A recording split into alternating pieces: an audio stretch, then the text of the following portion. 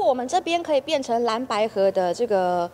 特定特定示范区的话，那我觉得也蛮好的哈。不水党纪高喊蓝白河，全是因为代表国民党出战新营南松山的北市议员徐巧芯，被民众党主席柯文哲低调礼让。会不会觉得这部分自己有点受宠若惊？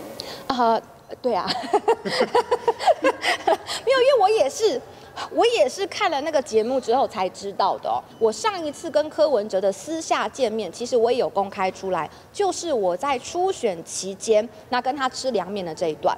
我们应该是在共同的理念跟价值上面，一起为了国家去做努力。强调自己毫不知情，因为民众党传出不分区立委吴新盈也有意出阵信义南松山，却被柯主席极力阻止。我们在这一次的确是。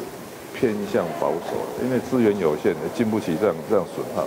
我都有跟吴庆颖讲说，要选松性的，要么就要选民众党的好处是哈，表面上看起来是一人政党的，但是其实啊，我们要一个选举会嘛。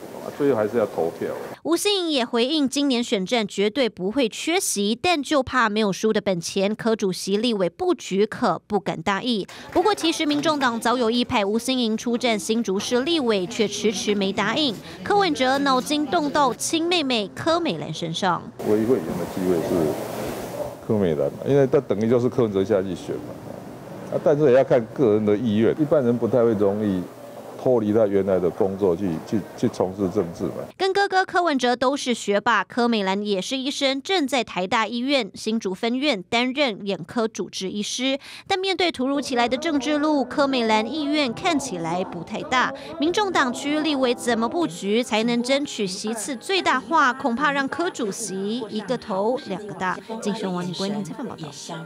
立刻下载晋新闻 App，一手掌握新闻时事，尽善尽美，尽好新闻。